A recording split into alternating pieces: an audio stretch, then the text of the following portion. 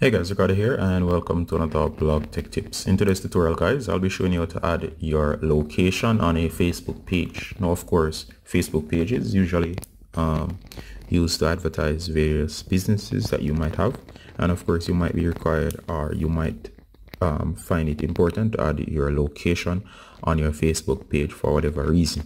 All right. So in case you want to add your um, location on your Facebook page, I'm going to show you how to do that on Facebook or on any page. So go ahead guys and you're going to find the Facebook application.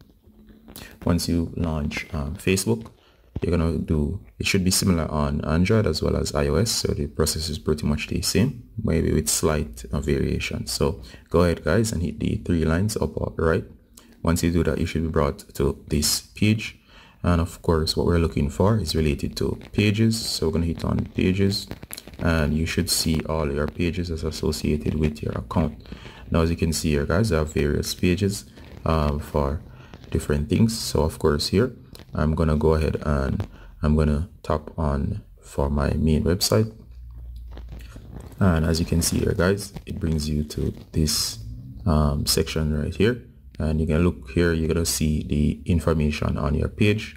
And you can look up here you're gonna scroll through. You can hit on more. Notice you have to swipe over to get the option. And once you're in here guys you'll see a bunch of um, information.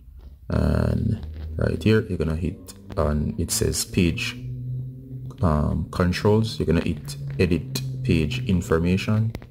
And once you're here guys again under edit page information. You're going to scroll down and you should notice here it says location.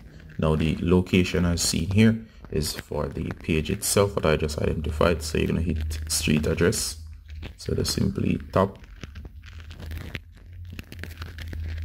alright so you're going to tap in the field that says street address and from here guys you're gonna add the various informations. Now notice it says add street address. So in this case gonna add a specific city address add a city add a zip code and of course you'll add a map location and add service area. So of course these are ways you can do that. So um, if you wanted to you could go ahead and include a city your zip code and of course you can hit add and save. And for the information here you can also go to a map and you can add location so go ahead and tap add location. Um, of course, you need to place the rest of the information in before you're allowed to add um, the information on the add map location. And from here, it's pretty much straightforward. Um, you can input your information and finally save. Once you do that, it should take effect.